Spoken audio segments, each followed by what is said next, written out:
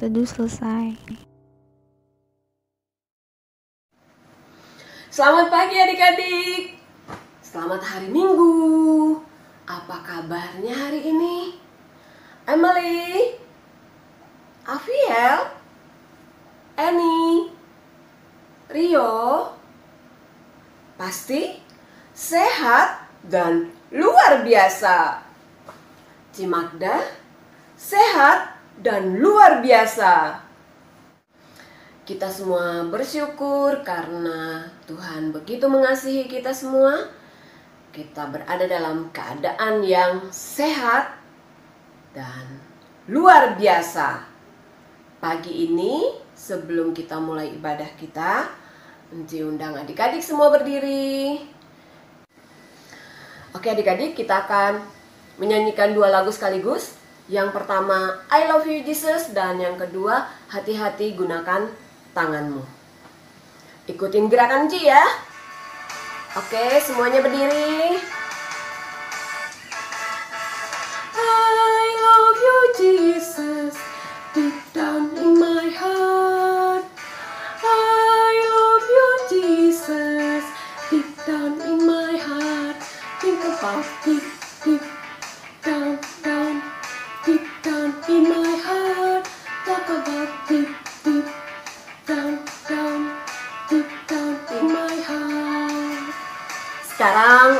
Indonesianya ya.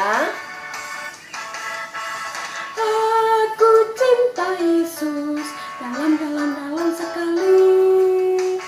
Aku cinta Yesus dalam dalam dalam sekali. Cintaku dah dah lam lam dalam dalam dalam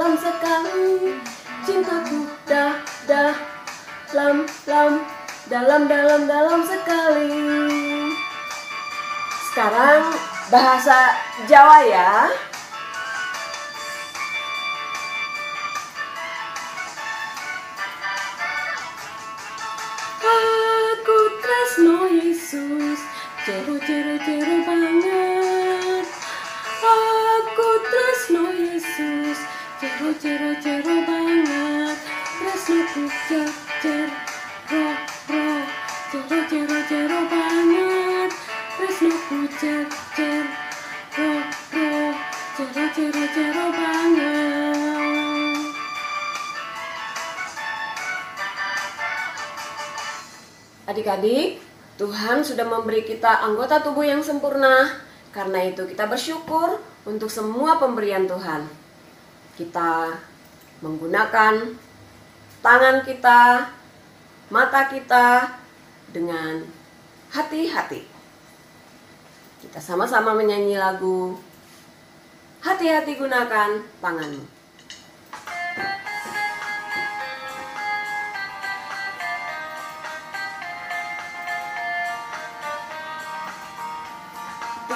Hati-hati gunakan tanganmu.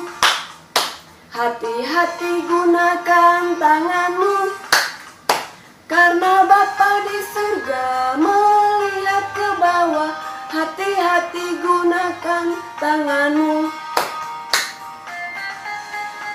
Hati-hati gunakan matamu.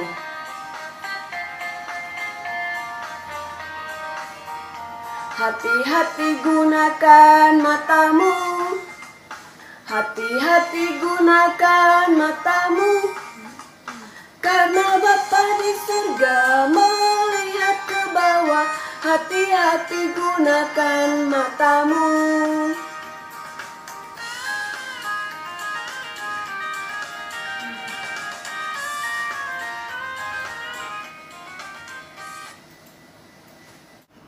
Nah adik-adik sudah semangat semuanya?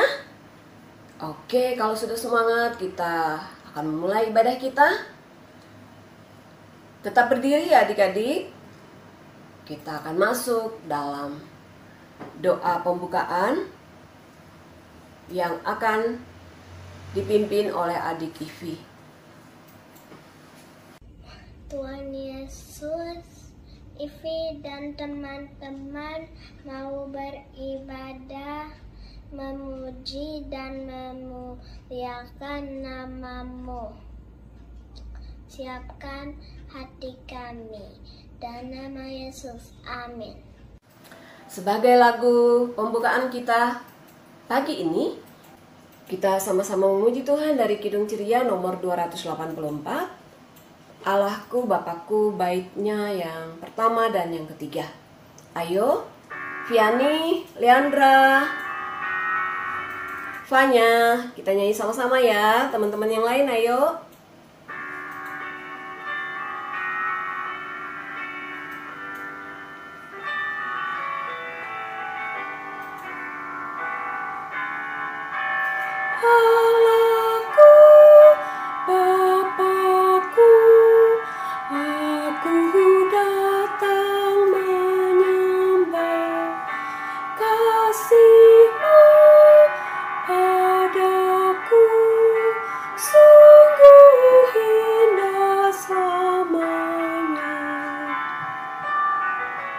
Yang ketiga.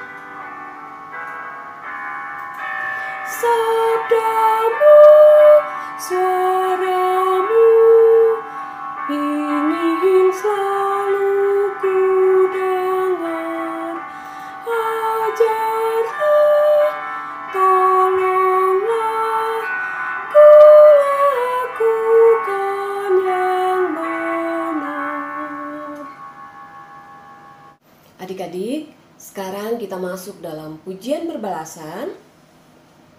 Pujian berbalasan diambil dari Mazmur 119 ayat 10 sampai ayatnya yang ke-16.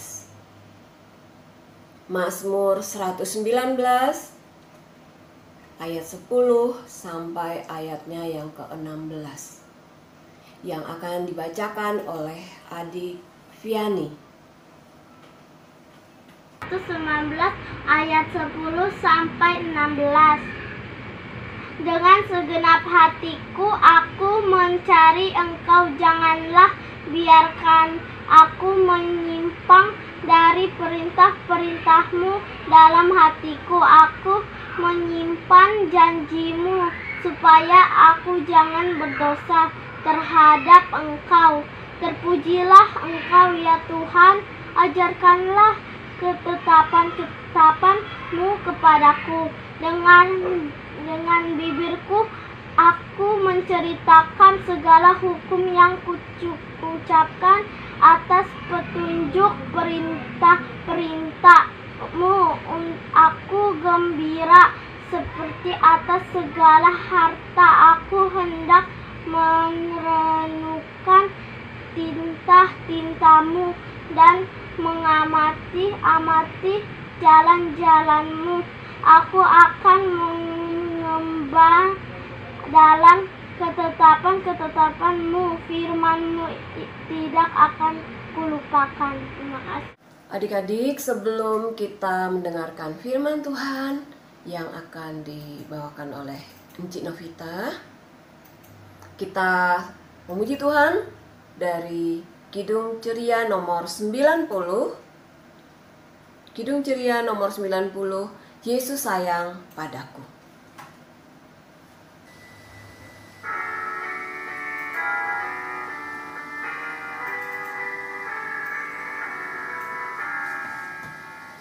Yesus sayang padaku Alkitab mengajarku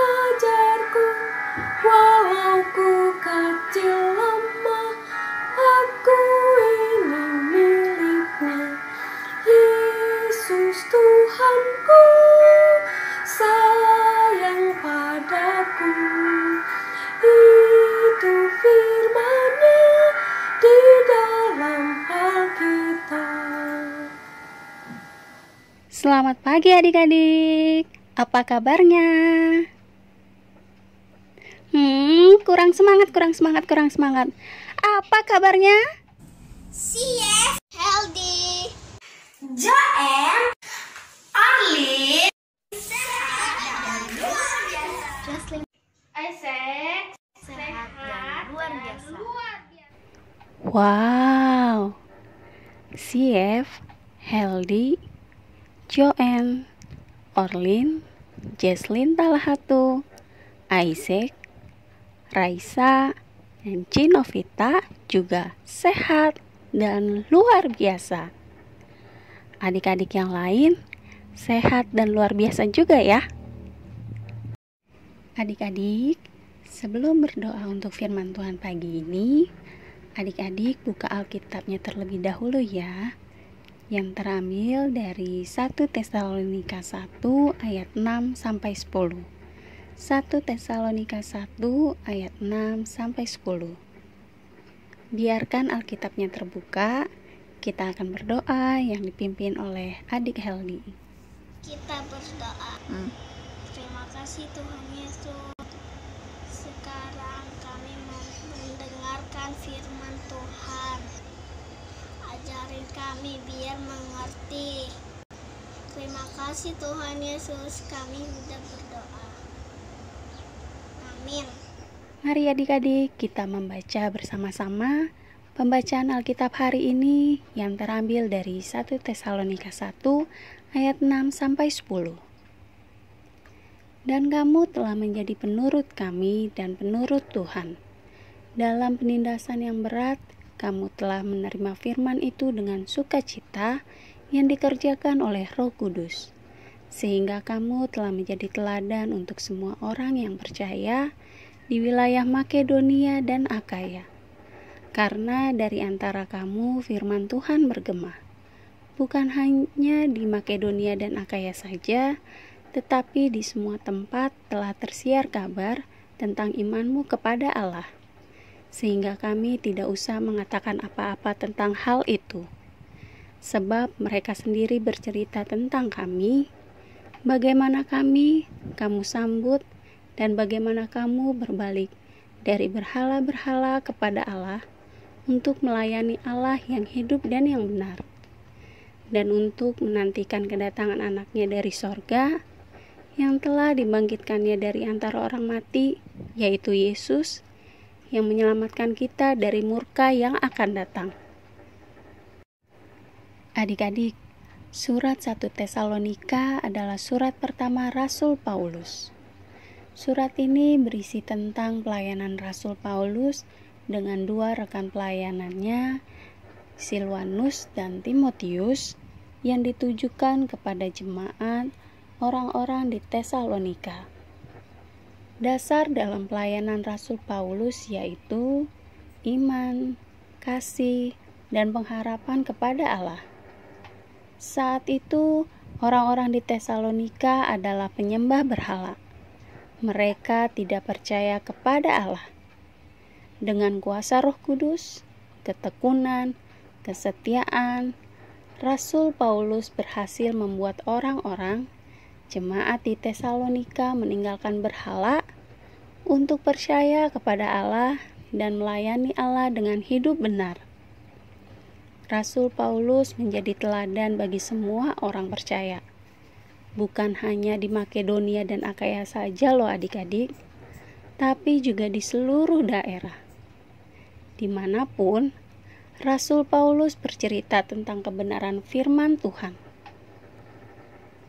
Dari keteladanan Rasul Paulus, jemaat di Tesalonika juga tekun dan setia untuk menantikan kedatangan Yesus kembali. Nah, adik-adik, menjadi teladan adalah menjadi contoh atau meniru. Jika jemaat di Tesalonika mencontoh atau meniru Rasul Paulus untuk hidup benar, Lalu siapa yang ditiru oleh Rasul Paulus? Tuhan Yesus. Ya, Rasul Paulus meniru Tuhan Yesus. Adik-adik, siapa sih yang menjadi teladan atau contoh bagi adik-adik saat ini? Mama dan Papa. Guru di sekolah. Uci dan Engku. Luar biasa. Siapa pun dapat menjadi teladan yang baik termasuk adik-adik. Dari semua yang adik-adik sebutkan, hal sederhana yang dapat dilakukan sebagai teladan Kristus untuk adik-adik adalah membantu mama menjaga adik, merapikan mainan, membaca Alkitab dan berdoa, dan masih banyak lagi. Yang nakal tidak nakal lagi. Yang suka melawan orang tua tidak melawan orang tua lagi ya adik-adik. Ingat ya adik-adik, kuasa Roh Kudus mampu mengubah hati anak yang nakal yang tidak taat. Seperti jemaat di Tesalonika, kita juga harus menjadi teladan, menjadi contoh yang baik untuk semua orang. Dengan tekun dan setia dalam iman, kasih, dan pengharapan kepada Tuhan. Untuk apa? Untuk menantikan kedatangan Yesus kembali. Sebagai orang percaya, mari adik-adik kita sama-sama berkata, Aku menjadi teladan Kristus. Kita ulang ya. Satu, dua, tiga. Aku menjadi teladan Kristus. Tuhan Yesus memberkati adik-adik. Aktivitas hari ini, adik-adik membuat video tentang apa yang adik-adik ingin tiru dari Tuhan Yesus. Videonya dikirim ke Ciren ya adik-adik. Terima kasih. Adik-adik, kita akan merespon firman Tuhan pagi ini dengan bernyanyi bersama dari Kidung Ceria 227 Tanganku hendak kupakai. pakai.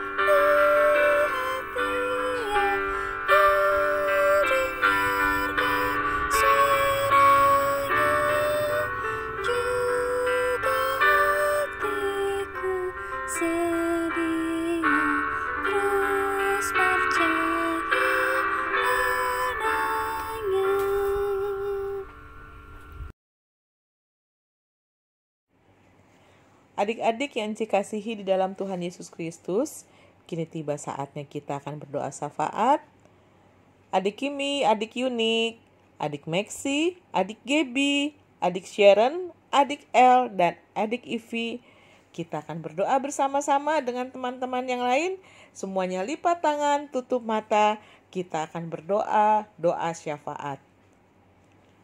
Tuhan Yesus yang baik, Terima kasih kami panjatkan kehadratmu Maha Kudus di minggu pagi hari ini ya Tuhan. Kami anak-anakmu boleh Tuhan kumpulkan kembali dalam ibadah IHMPA dengan penuh rasa sukacita. Kami boleh mendengarkan firman-Mu yang begitu indah dan bersama-sama kami merenungkan akan firman-Mu agar kiranya firman-Mu ya Tuhan boleh menjadi berkat di dalam kehidupan kami sehari-hari.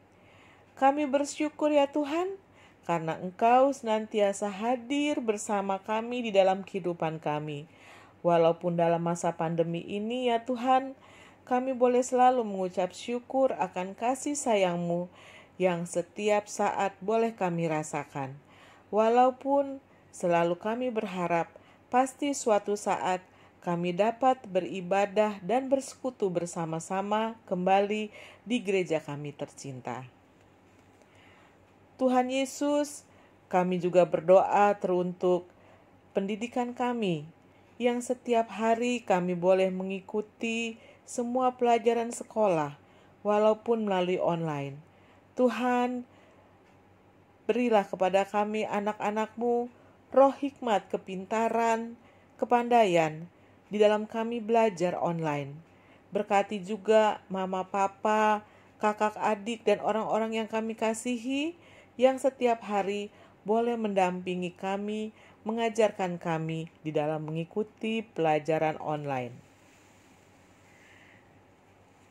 Secara khusus ya Tuhan Yesus kami juga berdoa berkati juga gereja GPIB di Indonesia, terutama gereja kami GPIB Jemaat Nasaret. Tuhan Yesus berkatilah Bapak Pendeta kami, Bapak Henry Yakob di dalam pelayanannya dan berkati juga di dalam kehidupannya sehari-hari bersama dengan keluarga terkasih. Tuhan Yesus yang baik berkati juga pemerintahan kami, negara kami, negara Republik Indonesia. Berkatilah Bapak Presiden dan Bapak Wakil Presiden beserta dengan jajarannya. Kiranya Tuhan Yesus berikan hikmat di dalam memimpin pemerintahan bangsa dan negara Indonesia agar selalu damai sejahtera dan sukacita selalu bersama. Tuhan Yesus yang baik, kami juga berdoa teruntuk adik-adik yang sedang sakit. Tuhan, jamah dan sembuhkanlah adik-adik yang sedang dalam keadaan sakit, supaya mereka dapat sehat kembali dan dapat mengikuti ibadah IHMPA secara online setiap hari Minggu. Tuhan Yesus, berkatilah para pelayan pelkat PA yang senantiasa melayanimu ya Tuhan dengan baik dan sukacita, agar kiranya Tuhan Yesus berikan kesehatan yang baik, berkat dan damai sejahtera. Terima kasih Tuhan Yesus, inilah doa yang kami panjatkan kepadamu. Dengar dan sambut doa ini yang kami alaskan hanya di dalam nama anakmu Yesus Kristus yang sudah mengajarkan kami berdoa. Bapa kami yang di sorga, dikuduskanlah namamu, datanglah kerajaanmu, jadilah kehendakmu di bumi seperti di sorga. Berikanlah kami pada hari ini makanan kami yang secukupnya, dan ampunilah kami akan kesalahan kami, seperti kami juga mengampuni orang yang bersalah kepada kami. Dan janganlah membawa kami ke dalam pencobaan, tetapi lepaskanlah kami daripada yang jahat karena engkaulah yang empunya kerajaan dan kuasa dan kemuliaan selama-lamanya. Amin. Adik-adik, kini tiba saatnya kita akan memberikan persembahan Sambil memberikan persembahan, kita akan nyanyikan lagu bersama-sama dari Kidung Ceria 356. Kidung Ceria 356. Kubri persembahan.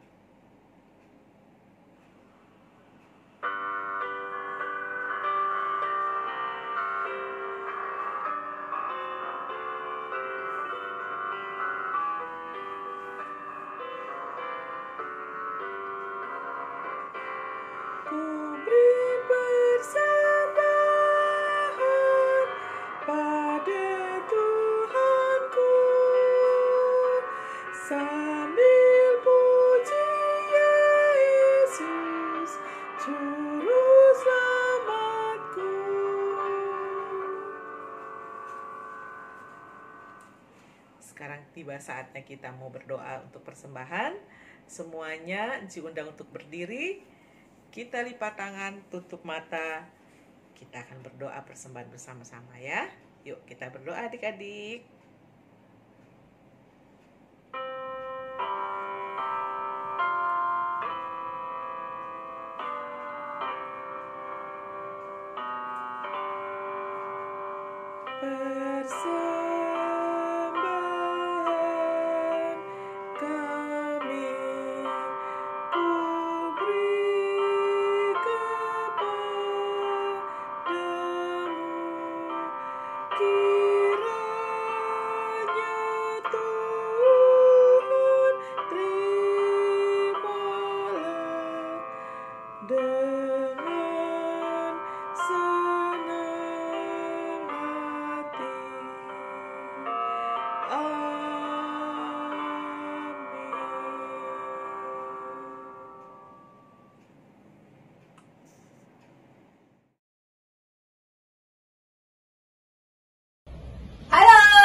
Adik-adik. Selamat pagi. Masih semangat kan adik-adik? Kali ini Enci Iren akan memberitahukan warta PA atau pengumuman seputar perkat pelayanan anak. Adik-adik masih semangat kan bener? Enci coba tes ya. Apa kabarnya kelas AK? Wah, ada Joshua dan Jesslyn Adam yang masih semangat. Ayo, adik-adik yang lain masih semangat kan? Sekali lagi ya. Kelas AK, apa kabarnya? Aku Onin sehat dan luar biasa. Wah, ada Onin dan Jojo. Enci Iren juga gak mau kalah semangat ah. Enci Iren sehat dan luar biasa. Adik-adik juga sama kan? Oke, kalau gitu adik-adik, yuk kita sama-sama dengerin yuk. Ada pengumuman apa aja sih kali ini? Warta PA yang pertama. Untuk yang pertama, IMPA online. Ayo, adik-adik, tahu kan IMPA online di YouTube kita biasa jam berapa? Jam 9 pagi. Jadi, adik-adik, setiap hari Minggu jam 9 pagi harus sudah siap ya. Kita mau beribadah bersama IMPA online di YouTube. Warta PA yang kedua, penyerahan persembahan. Nah, adik-adik biasa memberikan persembahan kan dimasukkan ke dalam amplop. Amplopnya adik-adik bisa berikan ke orang tua untuk selanjutnya diberikan ke kantor gereja atau orang tua juga bisa langsung transfer ke rekening gereja. Dan yang ketiga, ayo adik-adik di sini, siapa yang ikut paduan suara PA? Ayo adik-adik ikut yuk. Yang mau mendaftar, adik-adik bisa daftar ke Enci Vivi. Latihan paduan suara PA-nya dilaksanakan setiap hari Sabtu jam 10 sampai setengah 12 siang melalui Google Meet. Pelatihnya adalah Kak Ines. Yuk adik-adik ikutan latihan paduan suara PA yuk. Warta PA yang keempat. Enci mewakili seluruh pelayan PA mengucapkan terima kasih untuk Michael Lansam Putih yang sudah mengiringi IMPA hari ini. Dan adik Viani, adik Heldi, dan adik Ivi yang sudah bertugas dalam IMPA pagi ini. Warta PA yang kelima, pembagian tugas doa dan pembacaan Mazmur. Nah, seperti biasa, minggu depan ada giliran tugas doa ya dan juga tugas membaca Mazmur. Untuk minggu depan tanggal 7 Maret 2021, tugasnya untuk doa menghadap Allah akan dibawakan oleh adik Rio. Untuk pembacaan Mazmur akan dibawa, dibacakan oleh adik Sharon. Sedangkan untuk doa pembacaan Alkitab akan dibawakan oleh adik Jojo atau adik Jonathan. Nah, ketiga adik ini harap membuat video dan dikumpulkan ke Enci Iren paling telat hari Selasa ya adik-adik. Mama papanya boleh tolong dibantu ya. Warta PA yang keenam. Nah, adik-adik, selama ini kita kan kalau IMPA selalu YouTube. Nanti di bulan Maret kita akan IMPA bersama melalui Zoom. IMPA bersama ini khusus kelas AK ya, akan dimulai dari jam setengah sembilan. IMPA Zoom ini akan dilaksanakan tanggal 14 Maret. Jadi dari sekarang adik-adik siapkan waktunya ya, supaya kita bisa bertemu dan beribadah bersama, bertemu dengan teman-teman di kelas AK melalui Zoom di tanggal 14 Maret ya adik-adik. Warta PA yang terakhir. Ayo adik-adik, selama masa pandemi ini jangan lupa ya untuk tetap melakukan protokol untuk mencegah penularan COVID-19. Jangan lupa pakai masker, cuci tangan dengan air mengalir, dan menggunakan sabun atau hand sanitizer. Jangan lupa sehabis jalan atau mau masuk rumah, langsung mandi dan ganti baju ya. Yuk adik-adik kita sama-sama menerapkan protokol kesehatan untuk mencegah penularan COVID-19. Terima kasih adik-adik. Nah, adik-adik, itu dia pengumuman-pengumumannya. Jangan lupa tanggal 14 Maret. Kita ibadahnya bukan melalui YouTube seperti ini adik-adik. Tapi tadi pengumumannya apa adik-adik? 14 Maret jam setengah 9 pagi kita akan ibadah bersama melalui Zoom khusus kelas AK. Jadi adik-adik semua bisa saling ketemu secara online dengan teman-teman kelas AK-nya dan juga Enci Engku kelas AK. Jangan lupa ya adik-adik, 14 Maret jam setengah 9 pagi melalui Zoom. Oke, sekarang impa kita sudah mau selesai adik-adik. Enci Iren mau ajak semua berdiri. Kita mau nyanyi satu lagu. Kita nyanyi lagu dari Kidung Ceria 269, bait 1 dan 2. Tinggallah dalam Yesus. Yuk berdiri. Ada adik Love, adik Genta, Ara dan Destiny dan adik-adik lainnya. Yuk kita berdiri, kita nyanyi lagu Tinggallah dalam Yesus yuk.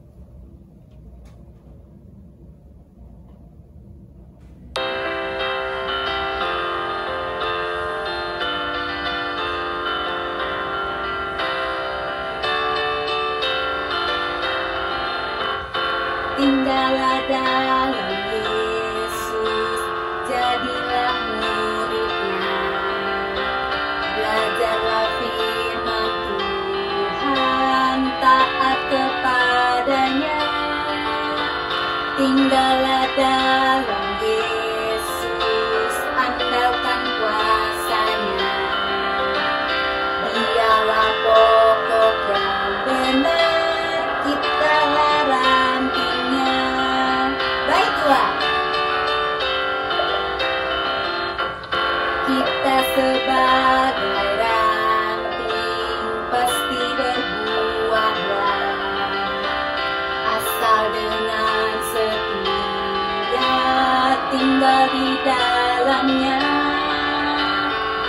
Dalam Yesus, muliakan namanya. Hidup berlimpah kurnia hanya di dalamnya.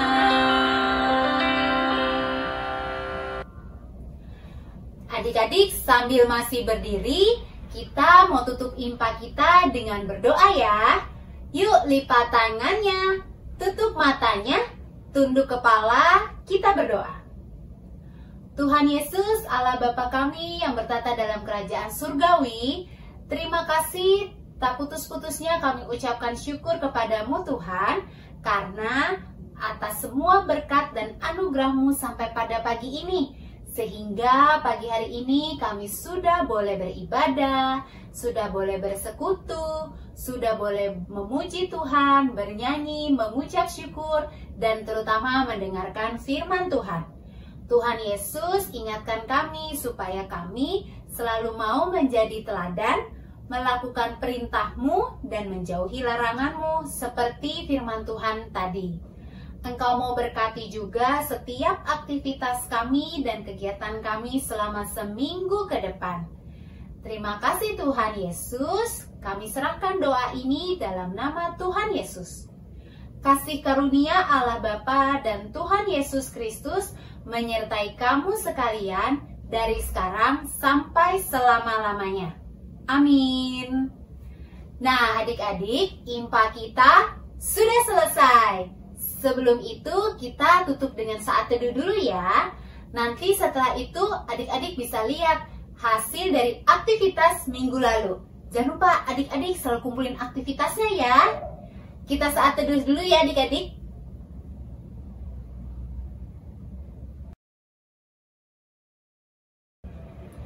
Amin. Selamat hari Minggu adik-adik. Tuhan Yesus memberkati adik-adik semua. Dadah.